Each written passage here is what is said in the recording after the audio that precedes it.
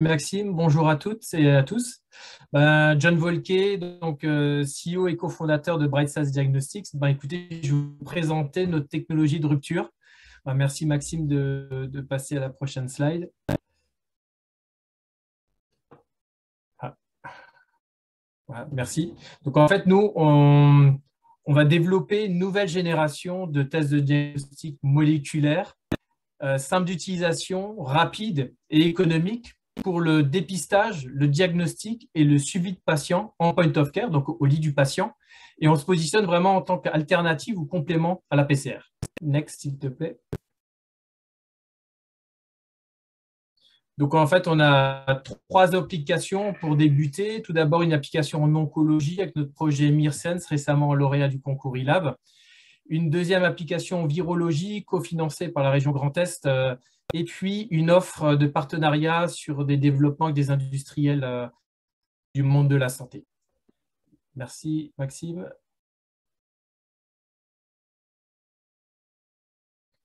Voilà, donc en fait, notre technologie est brevetée, on a trois brevets qui portent en fait sur des nanoparticules avec des propriétés uniques en termes de sensibilité et de brillance. Euh, en fait, ce sont des nanoparticules qui permettent la détection des acides nucléiques sans amplification enzymatique, donc encore une fois, sans PCR. Et en fait, sur la base de biopsies solides et liquides, nos nanosondes en fait, agissent comme des têtes chercheuses et dès lors qu'elles trouvent leur cible, elles deviennent ultra brillantes. Et la lecture de ces, des, résultats peuvent se faire en fait par des instruments qu'on trouve euh, dans la majorité des centres hospitaliers et euh, des, laboratoires, pardon, euh, donc des produits déjà disponibles qui nécessitent donc pas d'investissement, mais ça permet également d'avoir un, résultat qui peut être obtenu par une simple lecture d'un smartphone. Mais ça, c'est pour une prochaine étape. Ce qu'il faut retenir surtout sur cette slide, c'est qu'encore une fois, on est sur de la biopsie liquide, donc important pour un patient, et qu'on est sur une sensibilité de l'ordre de 30 cycles de PCR, qui est aujourd'hui euh, euh, euh, le, le, Graal. Alors, on a été également soutenu par deux ERC pour plus de 2 millions d'euros. Merci pour la prochaine slide.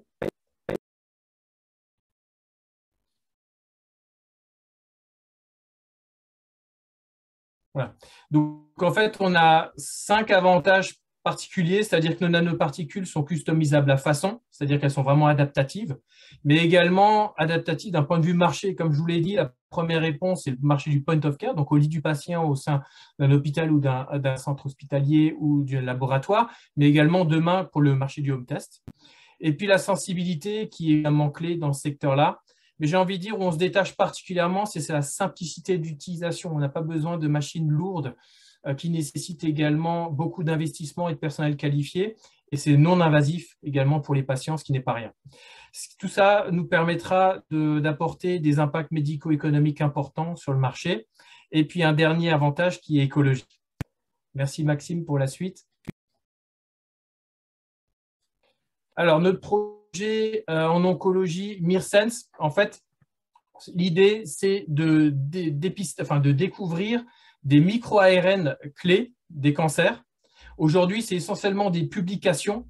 Et en fait, avec notre outil et avec un ensemble de partenaires, l'idée, c'est de mettre sur le marché, dès 2023, des kits de découverte de micro-ARN clés, donc avec des centres hospitaliers qui ont des budgets pour cela, sur une période de trois ans, donc de 2022 à 2024, et ce qui nous permettra, in fine, euh, d'avoir une base de données suffisante et donc de développer nos tests en point of care sur quatre cancers. Donc le cancer du sein, le cancer colorectal, avec lequel on travaille avec l'IRCAD, euh, le cancer euh, du pancréas et le cancer du poumon. Encore une fois, pour une détection précoce des cancers et surtout une optimisation du suivi de patients. Aujourd'hui, un patient, on revoit ses indicateurs, on va dire à peu près tous les trois mois. L'objectif qui est nôtre, c'est de se rapprocher euh, de trois semaines, c'est-à-dire que ça changerait tout pour le suivi du patient. Merci pour la prochaine slide, s'il te plaît. Alors, sur notre euh, offre en virologie, qui est la plus, la plus proche hein, en fait, du marché, aujourd'hui, nous sommes encore en phase de préclinique. Donc, l'idée, c'est de présenter un premier test sur la détection du SARS-CoV-2. Et puis, un deuxième test qui permettra la surveillance euh, des mutants, puisque là, ce sera clé pour la suite, à savoir s'il peut y avoir des, mutants plus agressifs et malheureusement faire redémarrer une pandémie de manière euh, euh, plus conséquente. Alors, on va voir le positionnement sur la prochaine, prochaine site, ce qui sera, vous comprendrez mieux en fait le, positionnement. En fait, notre technologie est une synthèse de la PCR, qui est aujourd'hui le golden standard, et également de les antigéniques qui aujourd'hui sont vraiment pratiques, faciles d'utilisation et à un tarif très attractif. En fait, MedSense prend le meilleur des deux. C'est ce qui nous laisse à penser qu'on a toute notre place, puisque, encore une fois, on est à de l'ordre de 30 cycles de PCR et on sera à un tarif relativement proche d'un test antigénique. Merci pour la prochaine slide, s'il te plaît, Maxime.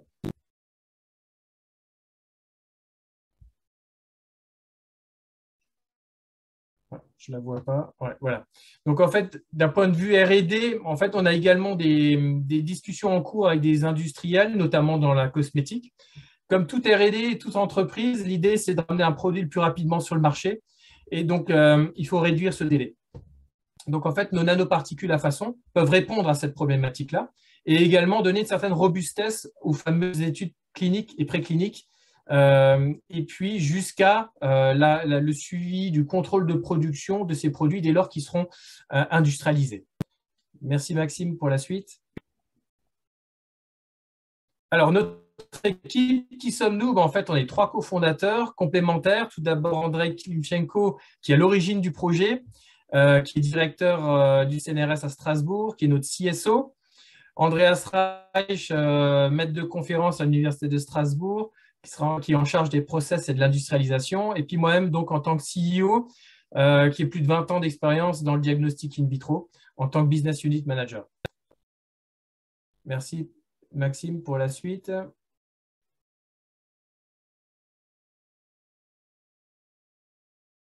Alors, on a la chance d'avoir euh, beaucoup de gens qui nous font confiance, et tout d'abord le monde académique, puisqu'on a un partenariat avec l'université et le CNRS. encore une fois, des fonds européens, et puis d'un point de vue clinique, on a professeur Maresco qui nous a ouvert les portes euh, de l'IRCAD, c'est pas rien, et notamment l'ICANS aussi à Strasbourg, qui est spécialisé dans le cancer du sein. Et puis tout l'écosystème, et j'ai envie de dire particulièrement Célia, qui nous a bien aidés dans, notre route euh, actuelle et encore aujourd'hui. La prochaine, s'il te plaît.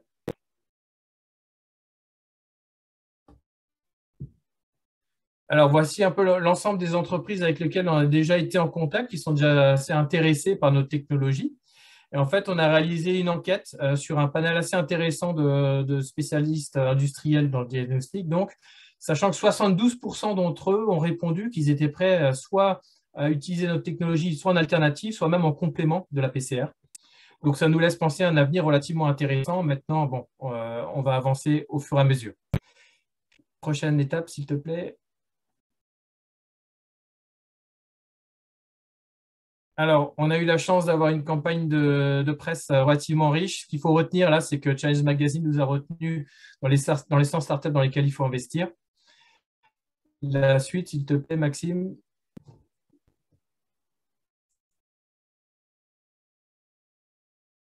Et donc voilà notre Gantt. Donc euh, en fait, comment WeSeed peut nous aider? Donc très clairement en oncologie, euh, on va dire la phase clinique est très extrêmement coûteuse.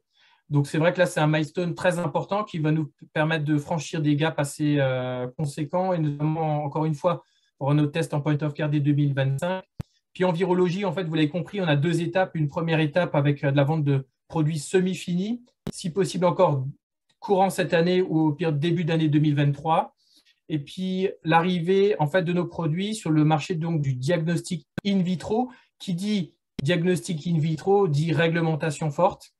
Et donc, euh, il faut être certifié en 13 485 et tout ça, ça coûte. Et c'est vrai que les effets de levier qu'on peut bénéficier grâce à aussi l'aide WICID, ça nous permettrait vraiment de passer euh, ces étapes qui sont vraiment cruciales euh, pour la suite de l'entreprise. Et comme vous pouvez le voir aujourd'hui, donc on a une roadmap financière qui est de l'ordre, on est entre la step 2 et la step 3. Donc merci encore à vous de, de vous intéresser à nous. Et puis j'ai envie de vous dire merci de m'avoir écouté et puis peut-être à bientôt. Super, merci John pour, votre présentation. Ben, on va passer aux, questions. alors première question, est-ce que vous pouvez nous préciser quelle a été la, genèse de, ce projet, de la société et les, premières étapes clés que vous avez franchies jusqu'à présent? Alors en fait, c'est Andrei Klimchenko qui a travaillé sur le sujet déjà il y a plus de dix ans, euh, qui a eu en fait la possibilité encore une fois de lever euh, deux ERC, donc pour plus de 2 millions d'euros. Suite à cela, il, a pu avoir une maturation de la SAT Connectus en 2017, euh, qui a été clé, parce que la SAT Connectus a elle-même investi énormément dans la technologie pour donc, ce qui s'appelle une maturation. Et en fait, euh, en 2020, en juillet 2020, pour être tout à fait précis, euh, il y a une rencontre entre André, Andreas et moi-même. Je crois qu'il y a déjà une belle histoire d'homme déjà. Et euh, en septembre 2020, donc la même année, deux mois plus tard, eh bien, on était face au comité d'engagement de SEMIA qui nous a bien challengé et au point même qu'ils nous ont, demandé tout de suite est-ce que vous voulez participer au concours d'innovation e-lab? Donc, euh, comme on aime les challenges, on a sauté à pieds joints. Et en fait, pour tout vous dire, moi, je m'étais dit, bon, rien de mieux qu'un crash test, finalement, que ce type de, concours pour tester l'équipe et voir comment on peut fonctionner ensemble. On a eu la chance d'être lauréat. Et je crois que là, à partir de là, l'aventure s'est lancée avec effectivement la campagne de presse, comme je vous l'ai dit, les retombées euh, de prospects euh, qui sont très claires. Et puis, encore une fois, des reconnaissances telles que Challenge Magazine, et autres. Donc euh, voilà, tout nous laisse à penser qu'on est sur la bonne voie. Maintenant, on, garde raison gardée, mais voilà un peu, voilà un peu notre histoire. Ok, merci.